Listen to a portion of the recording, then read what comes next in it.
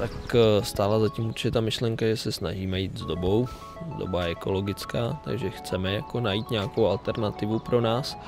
A jak jsem zmiňoval, těch alternativ v nákladní dopravě moc nevidíme a v podstatě LNG je jediná alternativa, kterou jsme tak nějak jako považovali za reálnou vzhledem k nějakému času a, a stavu té technologie, která na českém trhu je. No.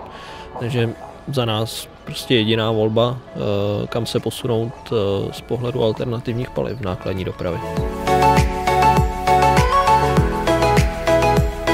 Tak testování probíhalo zdánlivě jednoduše, jakoby když to řeknu, prostě jsme je nasadili do reálného provozu, který, který eh, tady standardně vykonávají naše auta s našimi řidičema fungovali pod standardním dispečinkem bez nějakých úlev, obsluhovali kamenolomy, pískovny, a, a naše zákazníky, který pak tyhle ty naše sypké materiály zpracovávají dál.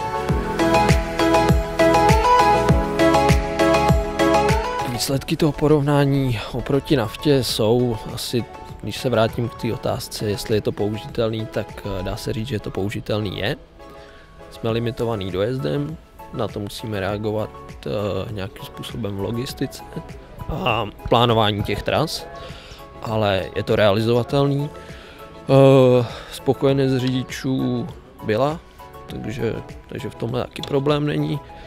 A co se týká nějaký ekonomiky a úspory nákladů vlastně na PHM, tak jsme na těch nějakých 14 tisících kilometrech, který jsme s tím najeli, tak jsme ušetřili průměru nějakých těch 23% proti autu na naftu, který jezdil stejné trasy.